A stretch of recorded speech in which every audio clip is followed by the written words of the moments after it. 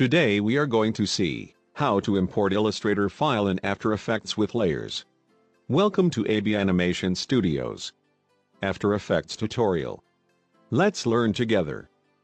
So once you have completed the design in Illustrator, you need to make sure that you created the separate layers and kept the object in it. This is the most important process before importing. Because if you import as a single layer, After Effects will assume as a single image. So you have to create layers. Please note, no need to separate each and every object. Just separate the object which you want to animate.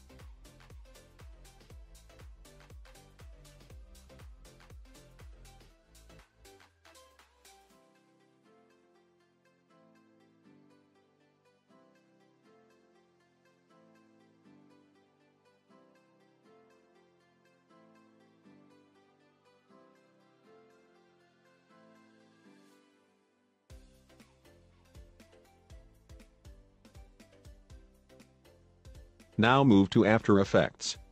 Just drag and drop the AI file. And you will get this option. Follow the same. Then click OK. See you got the composition. With all layers. Now you can animate it.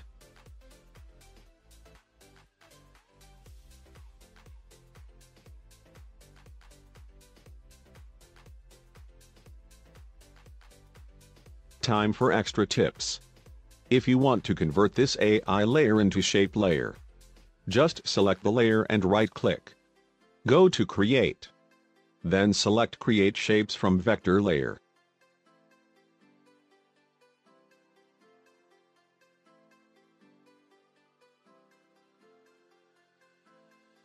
See now you can modify the path also.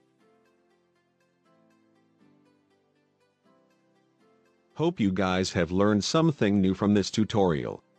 If you like this video, please give a thumbs up and motivate us. If you are new to our channel, please subscribe our channel and support us. If you already subscribed, press the bell icon to get notification. And don't forget to share our videos. Thank you so much for your love and support. Keep supporting us. Have a good time.